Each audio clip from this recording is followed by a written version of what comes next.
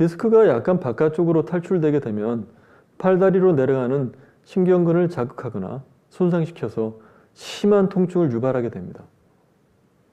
대부분의 디스크 환자분들이 수술을 원치 않습니다. 그런데 이 신경근 통증은 견딜 수 없을 정도로 고통이 매우 심해서 이 때문에 수술을 하시게 되는 안타까운 상황이 많습니다. 양방에서는 스테로이드를 활용한 신경차단 주사를 1차적으로 시행하는데 스테로이드의 시술의 특성상 많이 사용하게 되면 심각한 부작용이 있으므로 문제가 발생됩니다.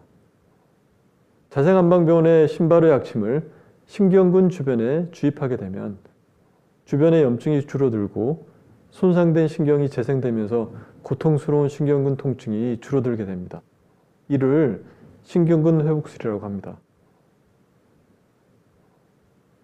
실제 임상에서 활용할 때 극심한 신경근 통증에 신바로 약침이 탁월한 효과가 있음을 많이 경험하였는데요. 많은 분들이 신경근 회복술과 같은 치료를 통해 불필요한 수술 없이 허리 건강을 되찾으셨으면 좋겠습니다. 자세.